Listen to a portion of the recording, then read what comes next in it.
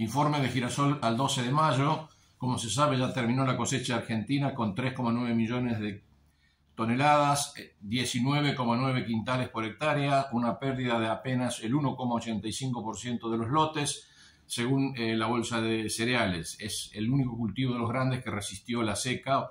Eh, incluso es más, en cuatro de las principales regiones, subregiones girasoleras de la provincia de Buenos Aires, los rindes fueron mayores a los de la campaña pasada. El USDA pronostica 3,9 millones de toneladas producidas de girasol.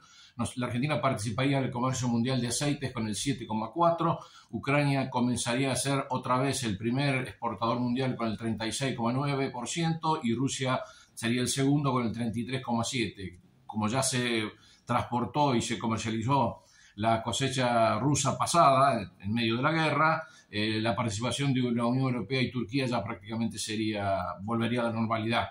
La, eh, la relación esto-consumo se mantiene relativamente alta para todos los aceites, baja del 14,2 al 14 por la, la, alta participación que tiene la soja brasileña, que ha sido una cosecha récord. La de girasol baja de 16,2 a 14,5. Estamos hablando de aceite. En el primer trimestre la Argentina, a raíz de los bajos precios por las ventas que hizo eh, Rusia hacia China y hacia la India a precios bajos, eh, la Argentina exportó 30,5% menos que el año pasado. Desde el 25 del 4, el girasol complejo eh, participa del programa de incremento exportador, o sea, del dólar a 300 pesos. Se han liquidado en dos semanas 771 mil toneladas Aproximadamente el precio actual está en unos 95 mil pesos más la bonificación. Esos 95 mil pesos representan 415 dólares oficiales.